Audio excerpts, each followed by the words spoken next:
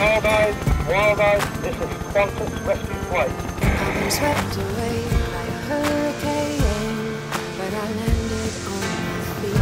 It happened fast, and all I know is I'm where I need to be. When I was 13, I first started skippery boats by myself. I would work with my dad. It actually started off, the whole idea was kind of born when a couple of guys were just joking around on the dock. They were saying I was going to be the youngest girl to sail around the world alone. I believe you, you need to expect things from your children. Uh, kids without anything expected from them and no responsibility, what are they going to amount to? My trip around the world was a 13 month adventure. I went just over 28,000 nautical miles. I set two records, uh, youngest around the world and first person under 18 to sail around the world. This wasn't something that was a haphazard thing, oh, go out there and see if you can do it. Seeing my own brother go out and do something so amazing, it really inspired me to go and do the same. The harsh reality of, of the ocean is it doesn't care who you are, where you are, or what you're doing. It, it will nail you sooner or later. We had been looking at some different boats. We decided to go with an Open 40. And the boat was built for sailing in those big rollers that you get down south. It was virtually unsinkable. We chose Wild Wildeyes because one, it was a proven vessel. It had been sailed around the world by Alan Paris, who became the first Bermudian to sail around the world.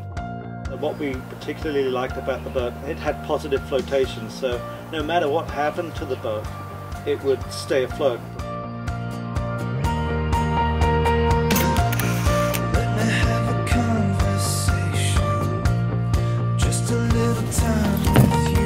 When I really really felt comfortable with her going was when uh, Wildeyes was in Marina Del Rey and the team was working on it and I could see Abby just diving in and pouring every ounce of herself into the boat and being challenged.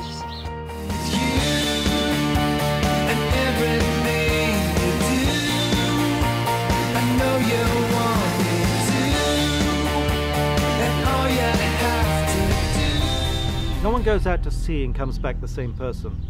I don't care if you sail 100 miles or 10,000 or 25,000. No one goes out and comes back the same person.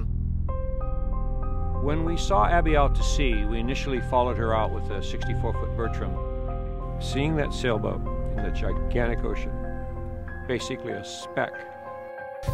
2,000 miles off the western Australian coast, 16-year-old Abby Sunderland ran into trouble. With winds gusting at over 70 miles per hour, her boat has been knocked down several Wildeyes,